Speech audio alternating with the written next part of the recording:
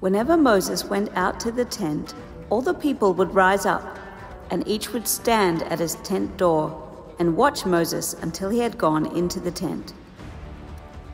When Moses entered the tent, the pillar of cloud would descend and stand at the entrance of the tent, and the Lord would speak with Moses.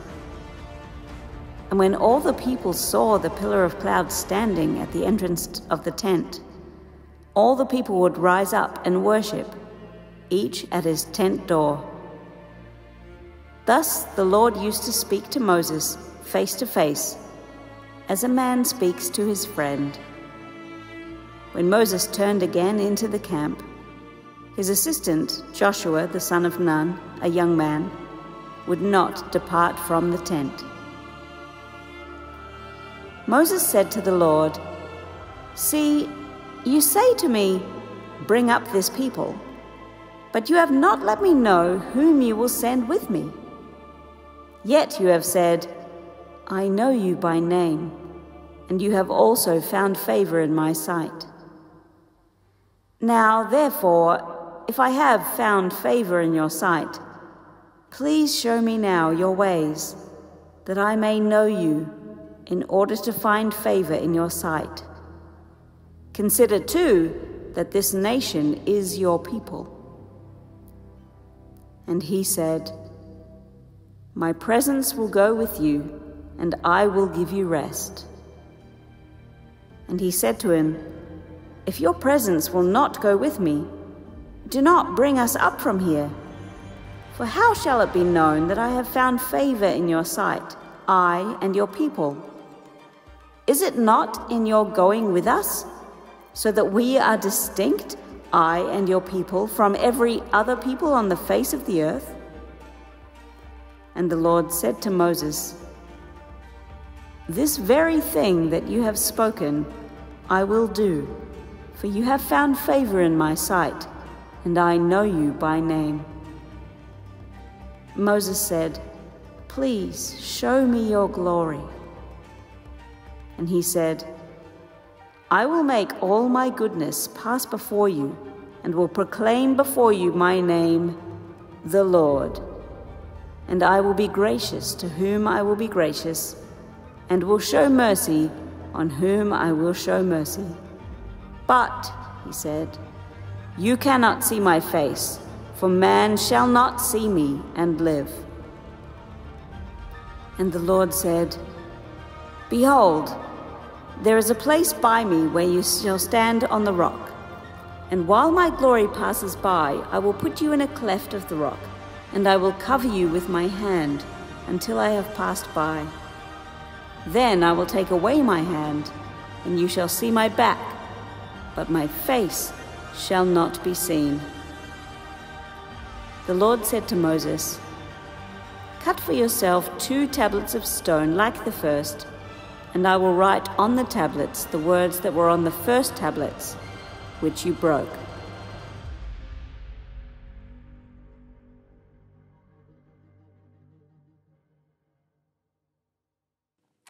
Hey, City on Hill, let's pray together. God, we praise you and we thank you for your word. And we pray that you would help us to hear it and to believe it. Uh, we acknowledge that's no small thing, and we ask for your help now and your power by your Spirit so that we might be your people. We pray it in Jesus' name. Amen. Moore College in Sydney is one of Australia's finest theological colleges. It has this brilliant reputation worldwide for its rigorous scholarship, its cutting edge research, its world class faculty, and for over 150 years, it's been training men and women for gospel ministry all over the world. But perhaps more importantly, it's a great place for backyard cricket. I grew up around the corner from there and I had some friends who lived on campus and so I spent weekend after weekend flicking in-swingers off my pad, sending down thunderbolts of my own. And, and there's one moment I will never forget. Though many moments stick out, the, the exhilaration of sailing a ball over point into the rose garden, the embarrassment of, healing, of feeling the ball hit the wheelie bin behind me, the one moment that sticks out was on this sunny spring day. The sun was in the sky, the, the light breeze was tickling my ears, and the trees cast a checkerboard shadow over the pitch. I had a bat in my hand, and I was just seeing them like watermelons. And so when my friend Michael comes into bowl, I could tell early this ball was pitched up and it was outside off stump. So I got my front foot there, and I played what has to be described as the best cover drive in the history of sports. I watched as the ball sailed effortlessly off the middle of my bat at the speed of sound. I watched it climb towards the heaven and, and I watched in slow motion as it broke a perfect hole through a window. Not just any window, though, the window of the principal of Moore College. I've done stuff much worse than that in my life, but I don't think I can remember ever feeling more guilty. As I stood there looking at the hole in the window, every muscle in my body was tense. I could hear my heart pounding in my chest, and I was struggling to breathe, but I had to breathe because it was the only way I could hold back the tears. Right in front of me, plain as day, was all the evidence. I was guilty. I knew it. Everyone else knew it. There was nothing to say and nowhere to hide. And all I could do was hang my head in shame and wait for the hammer to fall.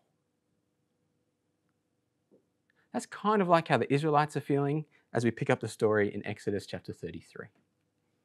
We saw last week they were caught red handed, worshipping the golden calf, while Moses is up on Mount Sinai speaking with God with six chapters of instructions for how to build this tabernacle so that God can dwell with his people.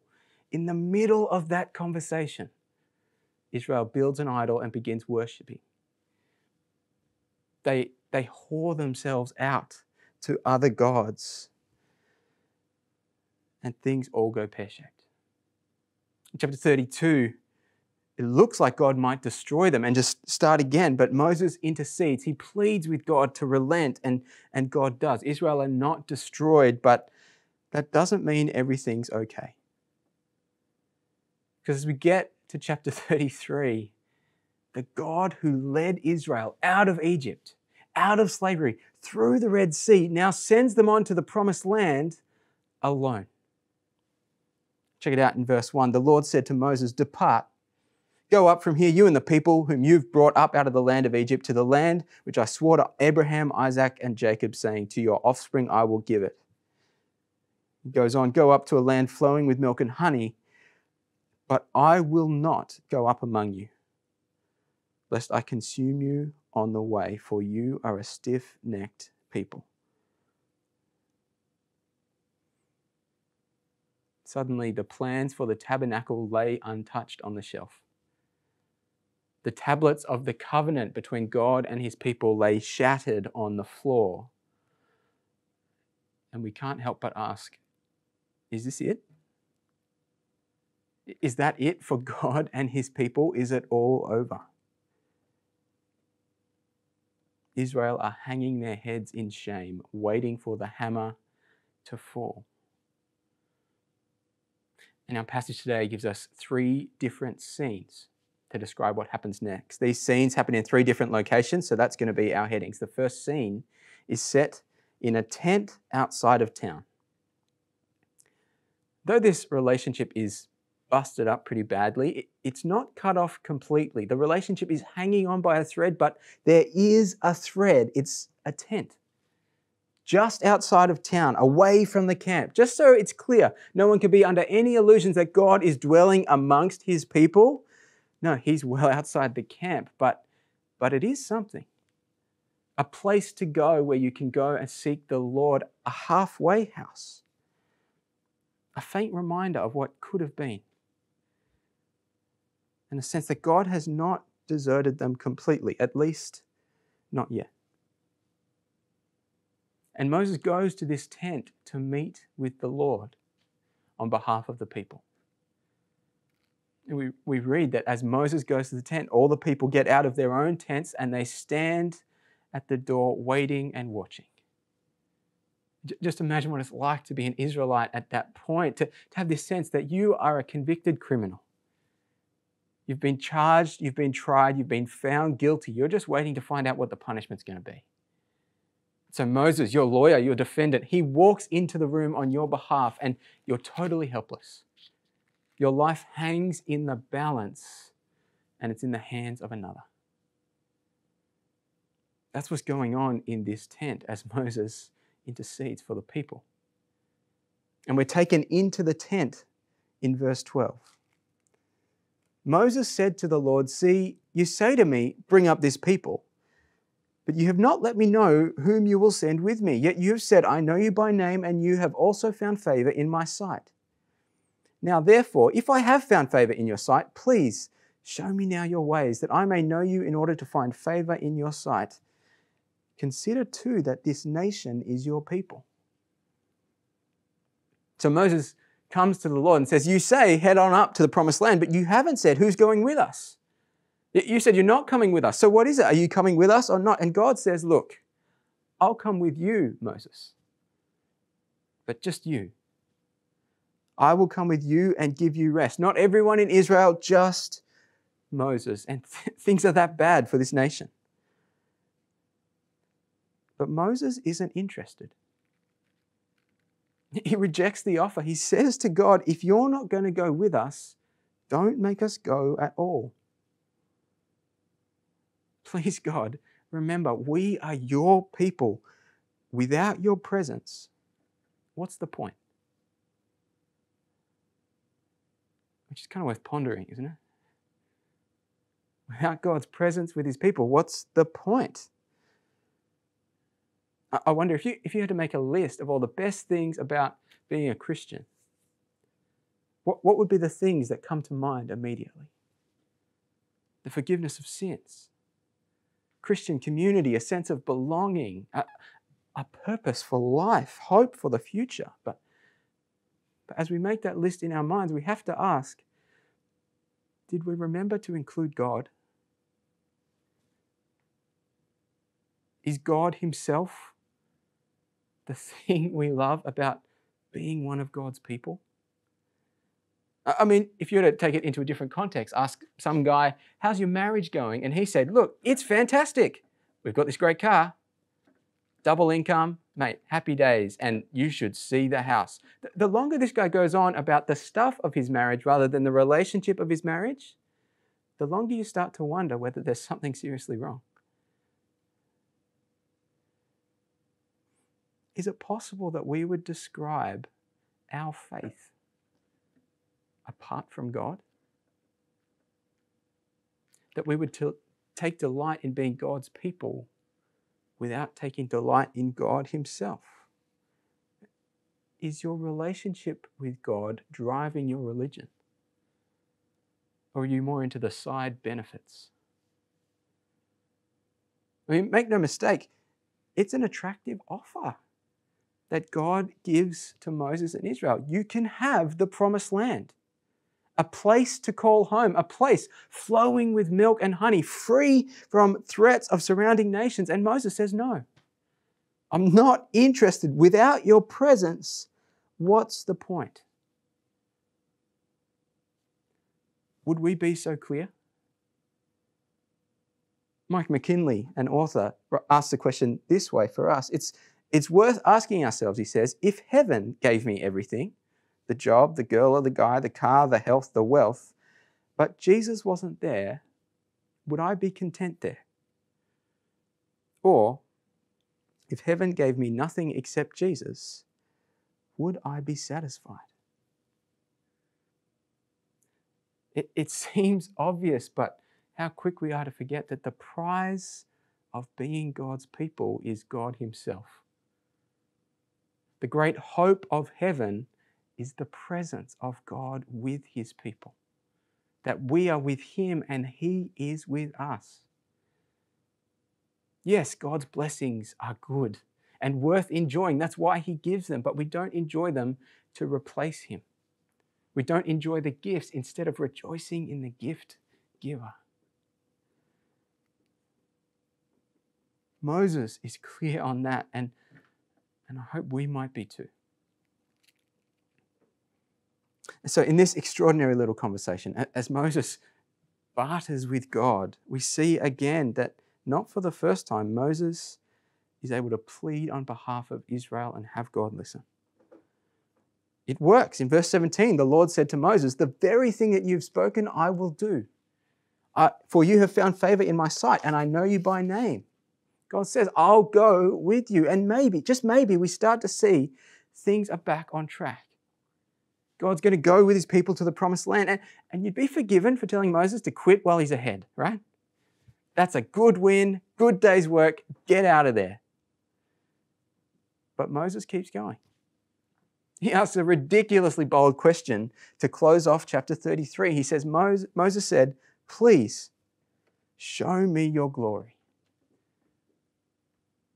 Here, I think Moses is looking for some kind of reassurance, something he can do, something he can look to and count on as a reassurance that God is going to do what he said he would do.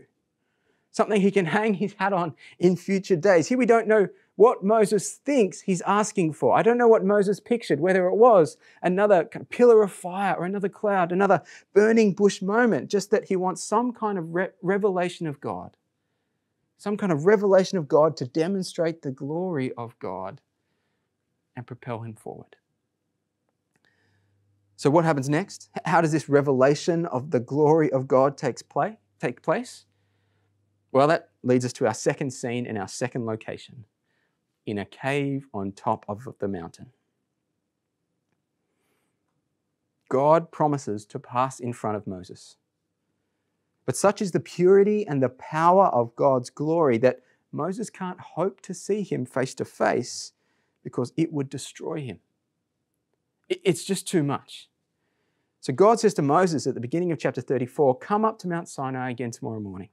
Come by yourself, bring a couple of tablets of stones, and I'll hide you in the cleft of the rock, like, like this little cave, and I'll cover you with my hand so that you can't see too much and get destroyed. You just get a little glimpse of my back, God says is a pretty intense setup for what's about to happen. Like we're reading this with anticipation. What is he going to see? This is, this is going to be something serious.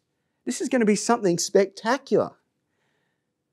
What's interesting about this section of Scripture is we're not really told what happens. We're not really told what Moses sees or what that's like. We're not told what the experience of sight is because that's not the main event. Now, the main event is not what Moses sees, it's what he hears. As God passes before Moses and proclaims his own name. Now, if I were to pass before you and proclaim my own name, walk into your living room saying, David Chiswell, Chiswell that would be weird and not that glorious. That's not quite what happens when God does it. Because he proclaims his own name, Yahweh, but he also loads it with meaning. He reveals who he is by giving a clear description of what he's like.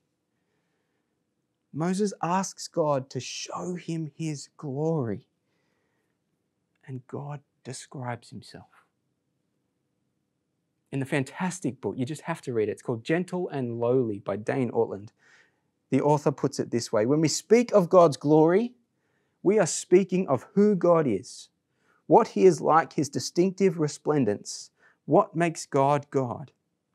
And when God Himself sets the terms of what His glory is, He surprises us into wonder.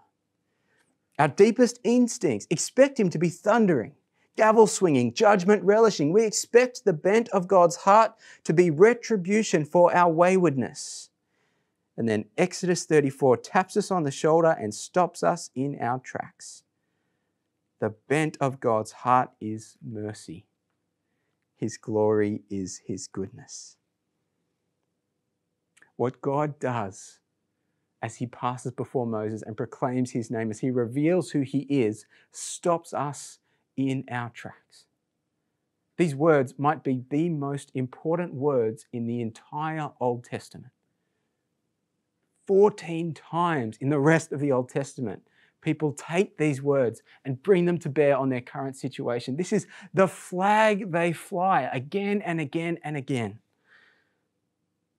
So we should listen to them. We should look at them closely. Look at what God says as he passes before Moses.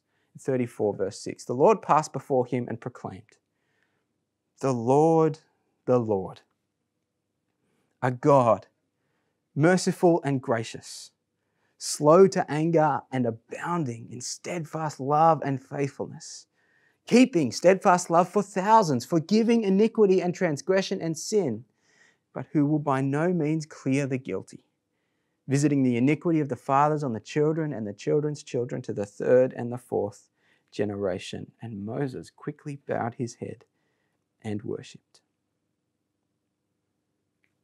I don't know what you think God's like. If you had to describe God, I don't know what you'd say. I don't know where you'd start. But look at what, look at what God says about himself first. The Lord, the Lord, a God merciful and gracious, slow to anger. That term slow to anger is really fun in Hebrew. The idea of anger is captured in this image that the end of your nose is hot. That's what anger is in Hebrew. It's a picture like a bull who's steaming out of his nostrils, right? That's what anger is. And so when it says slow to anger in the original language, it literally says God is long of nostrils, which is to say, it takes a long time for God's nose to get hot. God's not just leaning in, waiting for an excuse to get angry. He's not like that. He is slow to anger. He's merciful. He's gracious. What would it do to your idea of God if that's where you started your description of Him too? Because I think we can so quickly start to picture God as quick to anger. Like he's some sort of referee who watches everything closely, just waiting for a chance to blow his whistle when we break the rules. But remember the context. This is a moment in Israel's history where they are hanging their head in shame. They are waiting for the hammer to fall, and it never does. Because God says he is merciful and gracious. For a people racked by guilt, for a people hanging their heads in shame, waiting for the hammer to fall, there have never been words so sweet. And then God keeps going. He's slow to anger and abounding in steadfast love and faithfulness, keeping steadfast love for thousands, forgiving iniquity and transgression and sin. He's abounding in steadfast love and faithfulness. It's not something he has in his back pocket that he pulls out from time to time. As he walks down the street, it falls everywhere. He has so much of it. It, it flows out of him most naturally. He's abounding in this kind of steadfast love and faithfulness. And you see, it's for thousands. Time and time again, this love is extended. It's for anyone who would receive it, and it lasts. There's no expiry date on God's abounding love. God won't suddenly get to the end of his tether, throw his hands up in the air, and rage quit on his people. His is a faithful and a steadfast love. And we see this in what comes next in this chapter as God renews his covenant with his people again. Again, he writes the law on the tablets. Again, he promises his presence with his people as they head to the promised land. In the next chapter, they take the plans for the tabernacle off the shelf and they get back to work so that God might dwell amongst his people. God has not left them. His love has not run out. It will not, because he's abounding in steadfast love and faithfulness. But wait, there's more still. He's visiting the iniquity of the fathers on the children and the children's children to the third and fourth generation. This feels a little bit different to the bits that came before it, that God would visit the iniquity, that He would judge. But it's really important to know that in being merciful, God is not someone who puts his fingers in his ear and looks away from sin. God doesn't ever let sin go unpunished, and He is not apathetic toward evil. God's grace doesn't cut corners. God's mercy is not ignorant. He knows.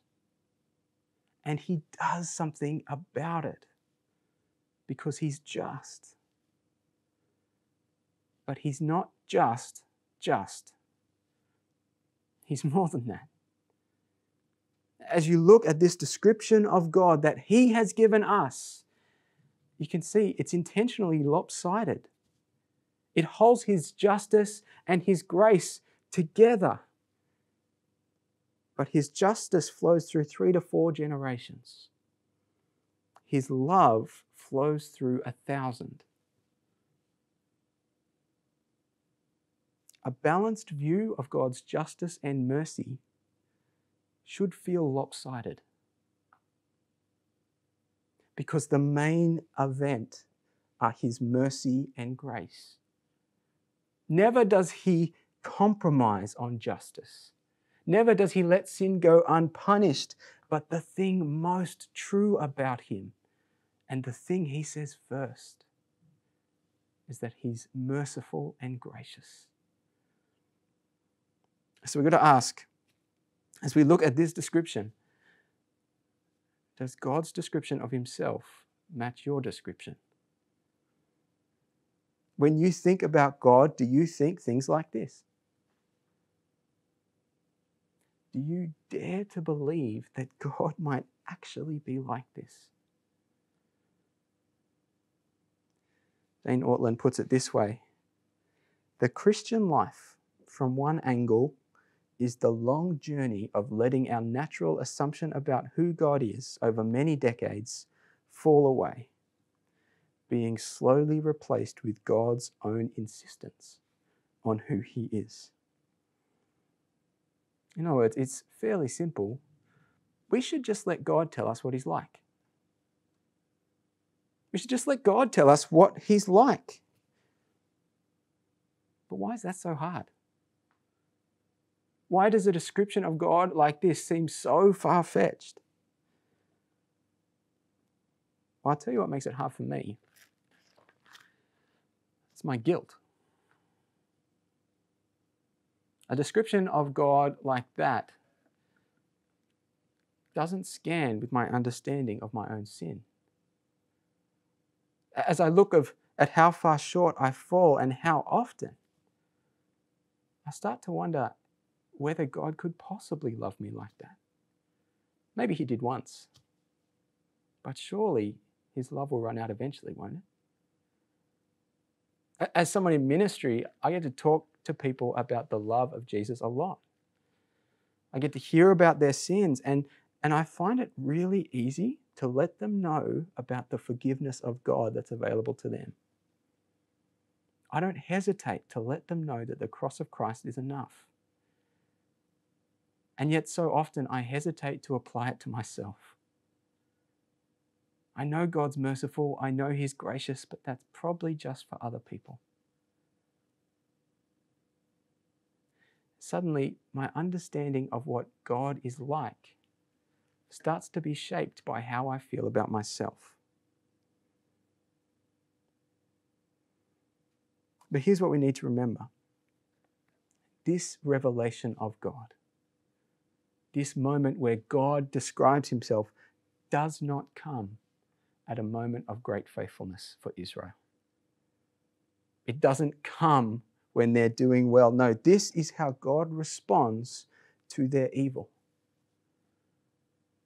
So I need to remember that my sin doesn't ever, cannot ever change the character of God. Your sin doesn't ever mean that God will stop being gracious. God doesn't change who He is based on how you're doing. In fact, when we do badly, could it be that that's when God delights in being merciful and gracious? Yes, God calls us to grow in godliness. But what if every time we stumble on that journey, God takes delight in forgiving? God gets excited about extending grace. God loves the chance to abound in steadfast love. Again, Ortlund puts it this way I don't know how to write it better, so here's a third quote for you. We are called to mature into deeper levels of personal holiness as we walk with the Lord. Truer consecration, new vistas of obedience. But when we don't, when we choose to sin, though we forsake our true identity, our Savior does not forsake us.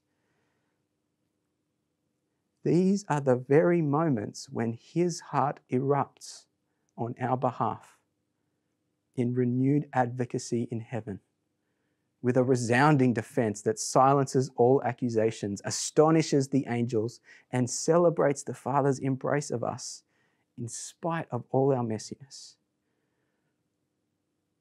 In my moments of guilt, that's when God wants me to run towards Him and not away. These are the very moments where God wants me to remember that He's gracious and merciful. These are the moments where God wants to show me that He is abounding in steadfast love and He has long nostrils. Our moments of sin are the very moments where the heart of God erupts on our behalf. So please, don't decide what God is like based on how you feel about yourself. Let God tell you what He's like. Or better yet, let Him show you. Which takes us to our third scene in our third location coming down the mountain as Moses comes down the mountain from this encounter with God, it's clear he's been changed by what he saw there. It's blown his mind, and his face shines. It's really interesting as you look at chapter 34, verse 29.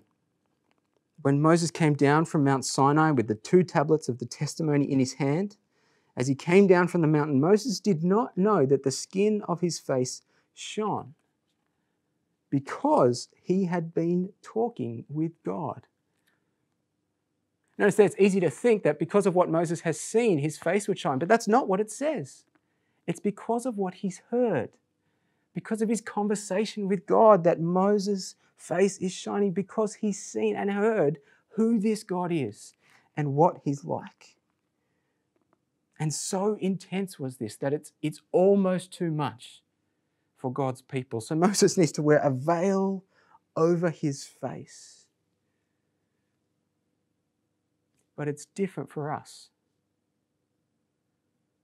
Paul speaks in 2 Corinthians 3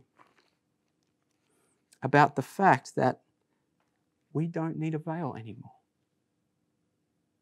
Chapter 3, verse 12, he says, Since we have such a hope, we are very bold, not like Moses who would put a veil over his face so that the Israelites might not gaze at the outcome of what was being brought to an end.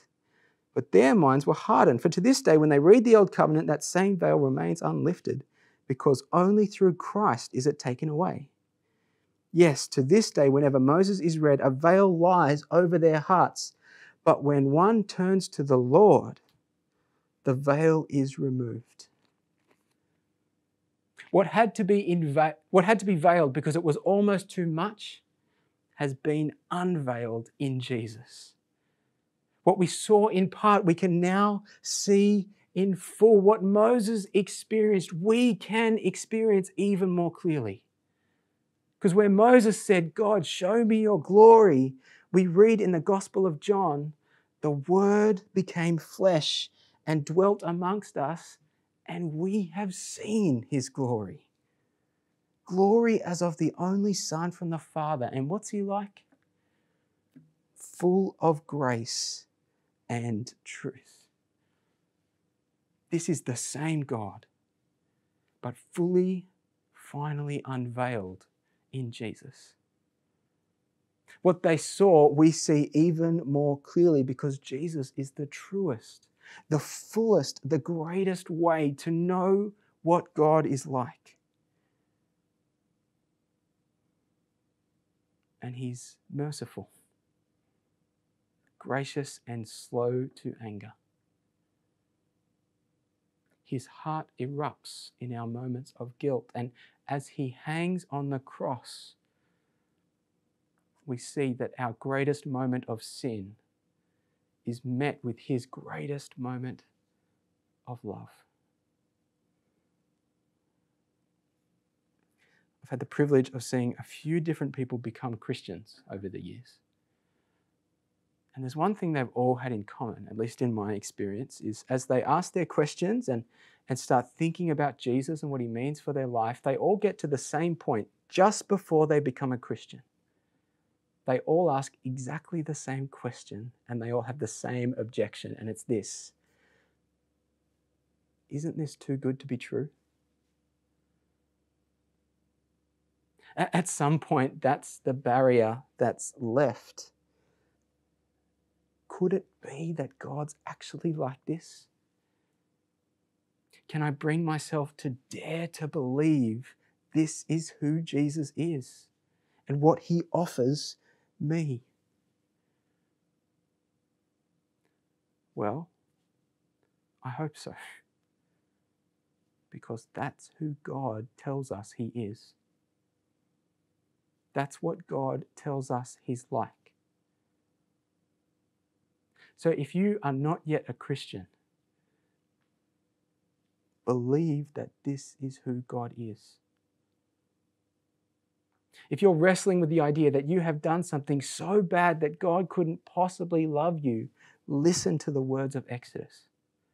Look to Jesus on the cross and know God really is gracious, even to you.